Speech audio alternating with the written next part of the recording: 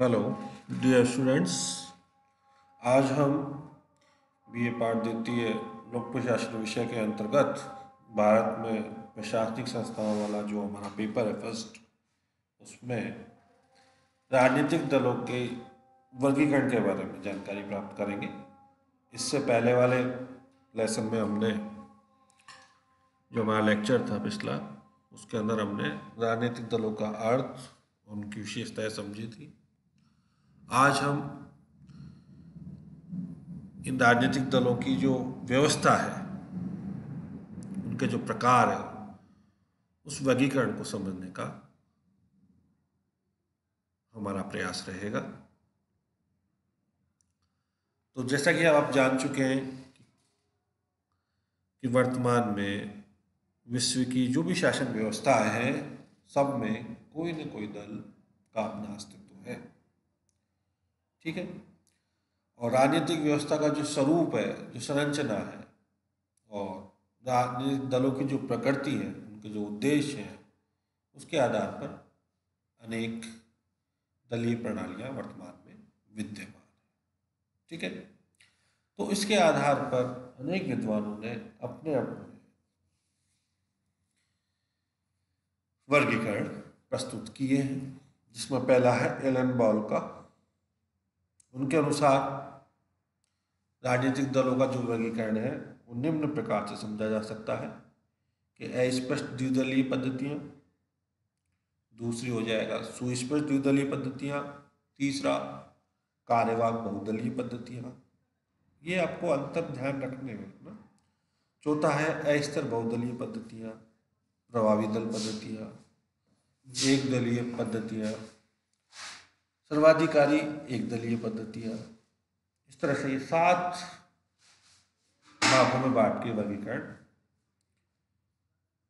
Elon ball द्वारा प्रस्तुत किया गया है। इसी तरह अमन ने सत्तावादी गैर सत्तावादी प्रतिस्पर्धात्मक, ठीक है, द्विदलीय और प्रतिस्पर्धात्मक, बहुदलीय इस प्रकार से वर्गीकरण किया है।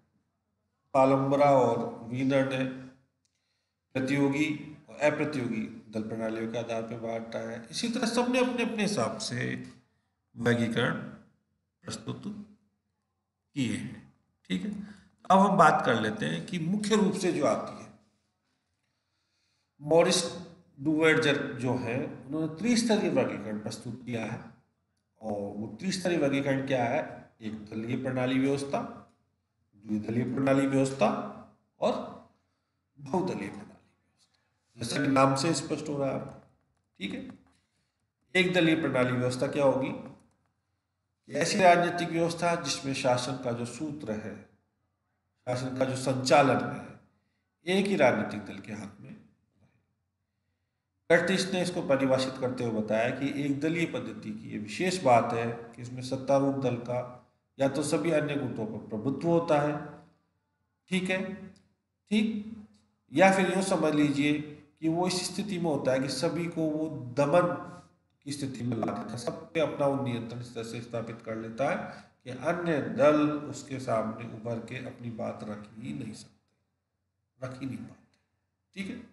यानी कहने का मतलब केवल और केवल इस व्यवस्था के अंदर एक ही दल अपना अस्तित्व बनाए रखता है और अपना कार्य करता रहता है। ठीक है। जैसा कि आप समझ सकते हैं, भारत का उदाहरण सकते हैं कि उन्नीस तक भारत में केवल और केवल कांग्रेस पार्टी का शासन रहा। कांग्रेस पार्टी का राजनीतिक दल के रूप में कार्यरत रही। ठीक है। उसके बाद व्यवस्थाएँ बदली। अन्य पार्टियों की सरकारें राज्यों में आई और आज स्थितियाँ बिल्कुल उलट हो चुकी है। ठीक है।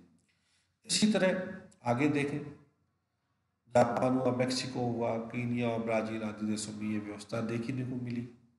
और सर्वाधिकार, एक दलीय व्यवस्था अगर आप देखने की बात करेंगे तो इटली था।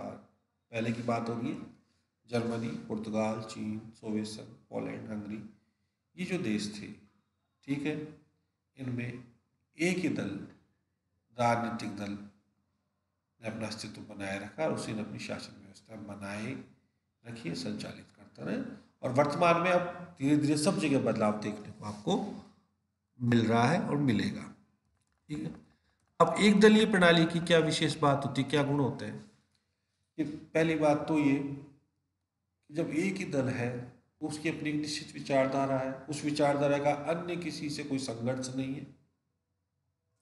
जब संघर्ष नहीं है तो उस स्थिति में राजनीतिक दृष्टि से अगर देखा जाए, है ना? जब संघर्ष की स्थिति नहीं है राष्ट्र में एकता स्थापित करने में किसी तरह की कोई परेशानी नहीं आती। क्योंकि सभी नागरिकों की विचारधारा भी एक समान रहेगी। जब दल की एक है, एक ही दल अस्तित्व रख रहा है तो नागरिकों की विचारधारा भी उसी से प्रेरित रहती है। ठीक है? एक ही दल की कार्यपालिका है मंत्रिमंडल है तो स्थायी सरकार की व्यवस्था बनती है। ठीक है? मज़बूत शासन व्यवस्था होती है। ठीक है? और इस स्थिति में दीर्घकालीन योजनाएँ भी लागू करना संभव हो पाता है। ठीक? किसी तरह का विरोध नहीं है शासन व्यवस्था में तो जो निर्णय लिए जाते हैं वो शीघ्रता से संचालित होते हैं, दक्षता आती है इस तो ये सब बातें आपको इसके गुण के रूप में हमें ध्यान रखनी है। दूसरी बात, जिसमें एक और शामिल की गुटबंदी की जो कमियाँ होती हैं, उनसे सर्वथा दूर रहता है। तो ये तो इसकी विशेषता तो इसमें दोष क्या है फिर?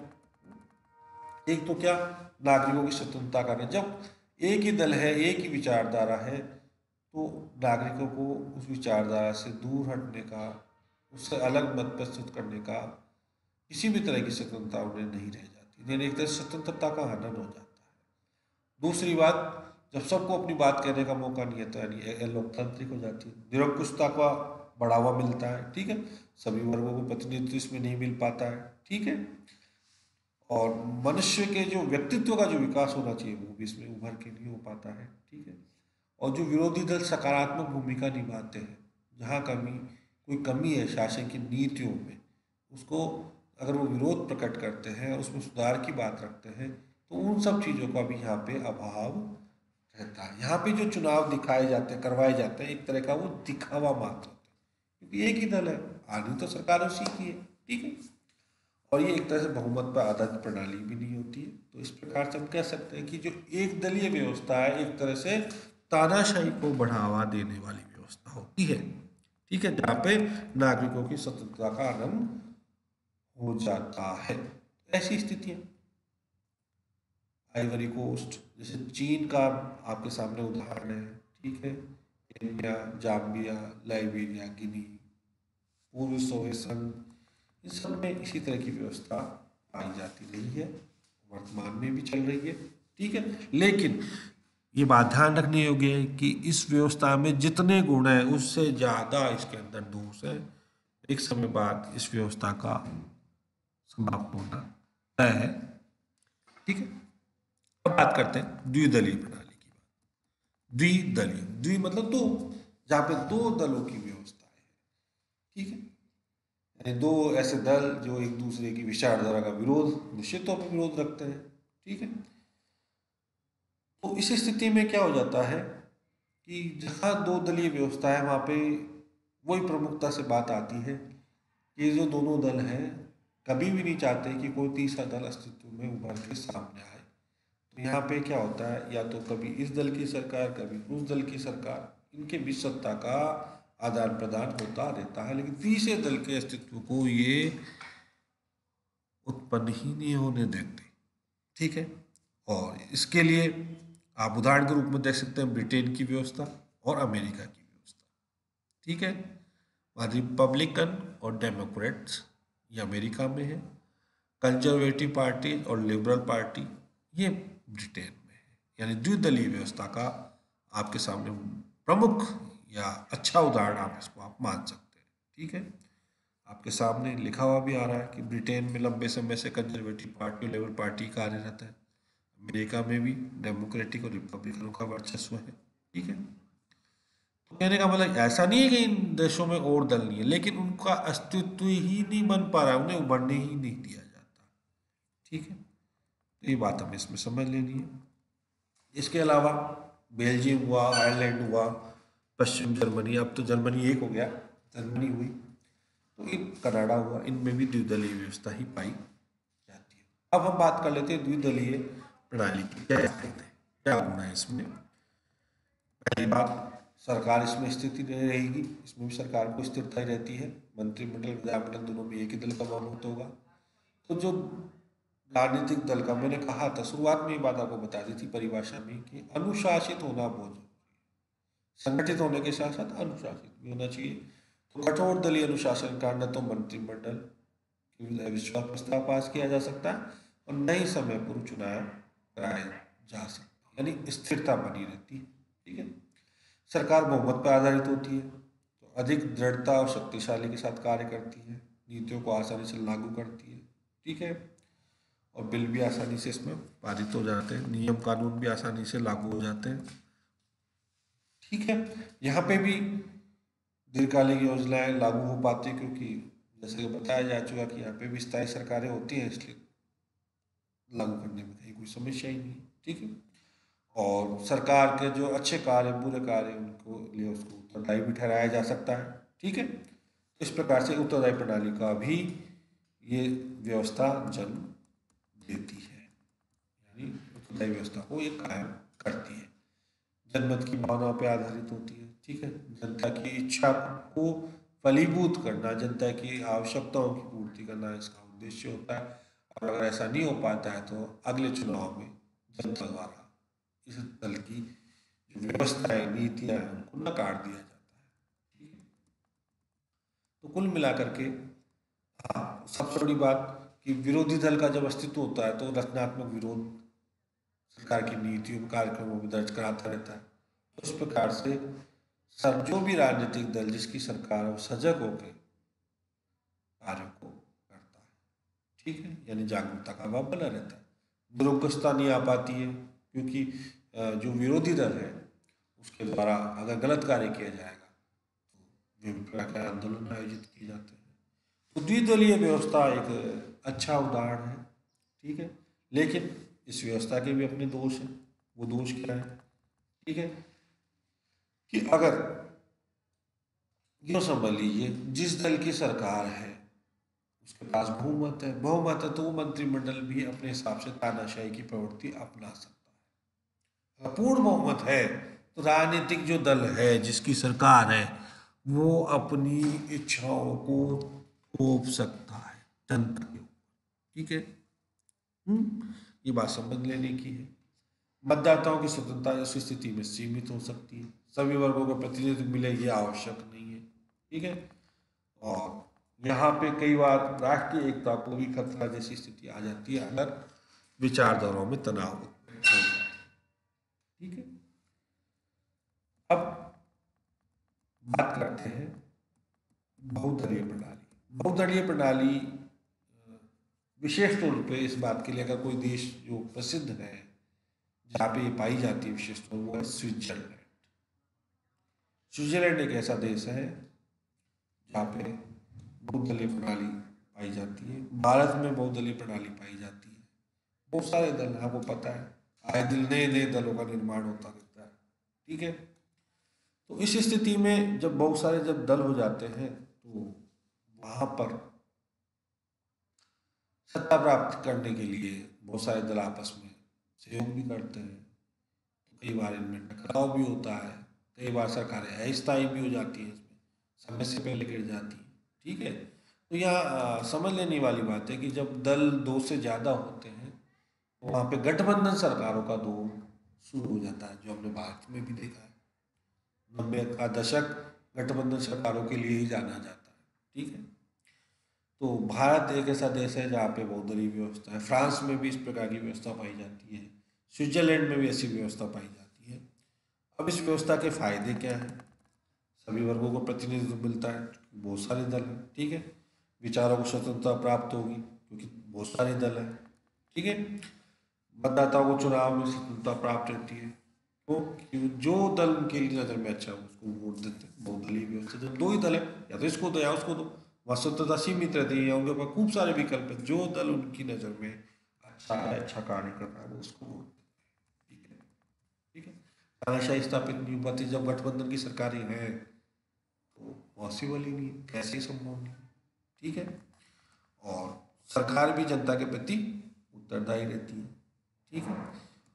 और इसके अंदर विशेष तौर पे जो बहुत सारे दल है तो अपने अपने क्षेत्रों के हिसाब से भी वो दल अपनी व्यवस्था कायम करना चाहते हैं। नहीं, यानी स्थानीयता का भाव भी उसमें विकसित ठीक है? लेकिन इस प्रणाली का दोष भी देखें।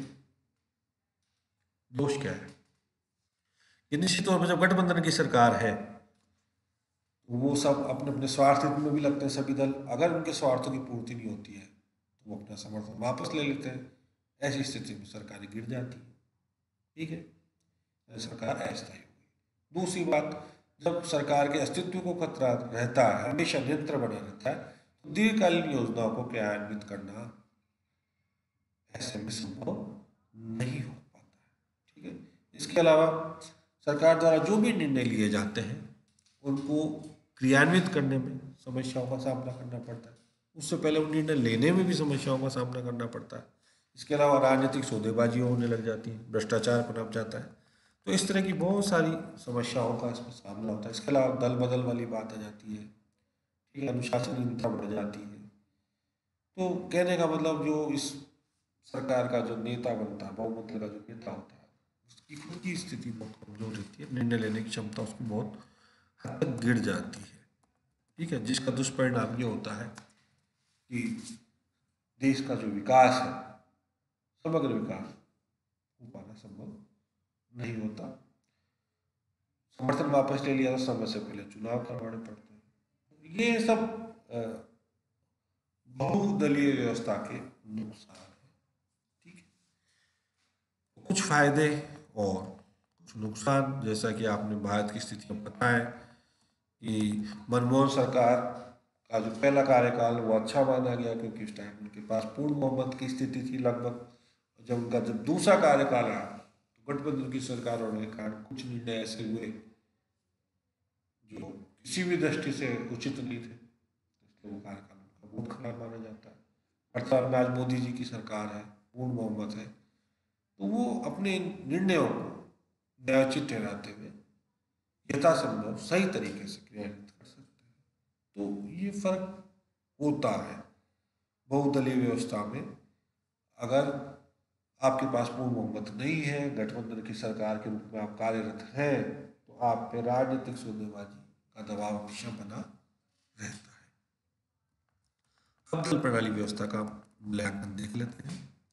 मूल्यांकन के अंदर यही बात है कि भाई किसी भी योजना को किसी भी आदर्श को, किसी विचारधारा को लागू करने के लिए एक संगठित समूह होना ज़रूरी है।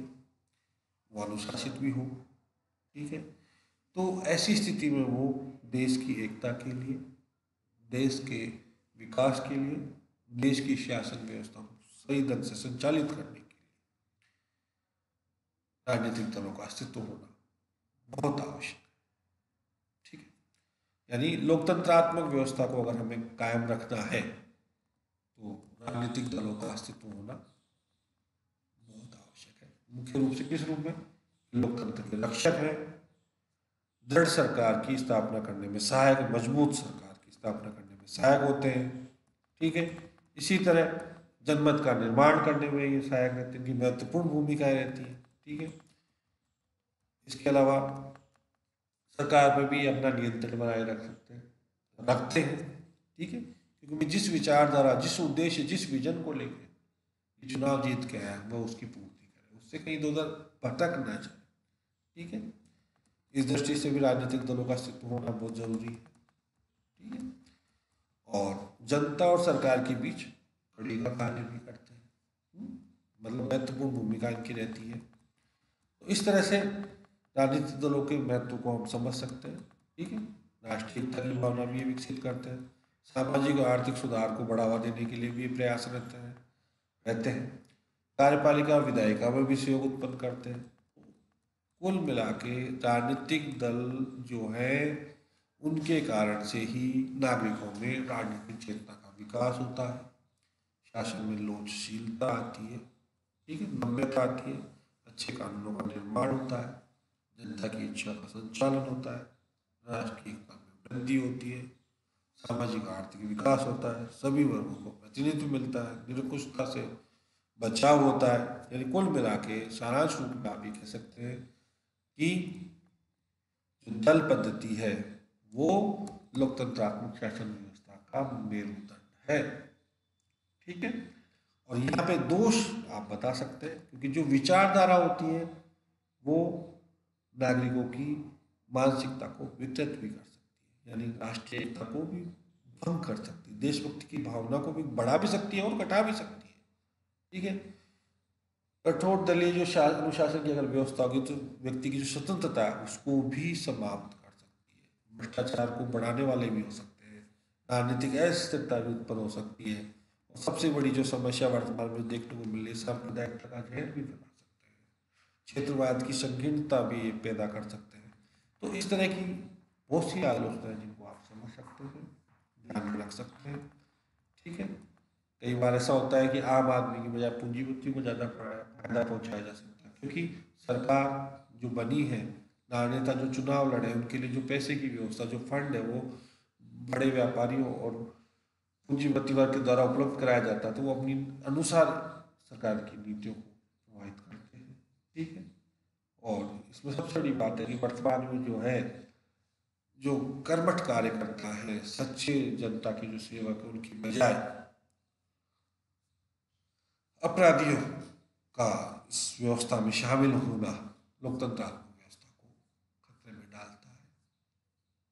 तो कुल मिला के हम समझ सकते हैं कि राजनीतिक जो दल है, उनकी तीन तरह की व्यवस्था पूरे विश्व में पाई जाती है। एक दलीय शासन व्यवस्था तो ये दलीय शासन व्यवस्था और बहुदलीय शासन व्यवस्था उनके अपने अपने गुण हैं अपने अपने दोष हैं। उसके अलावा अगर एक सम्मिलित सामान्य रूप में हम समझें तो राजनीतिक दलों का अस्तित्व होना हमारे लिए लोकतंत्रात्मक शासन व्यवस्था की दृष्टि से बहुत आवश्यक है। और इसी के साथ ये टॉपिक बच्चों, आज ख़त्म करते हैं हम। ओके।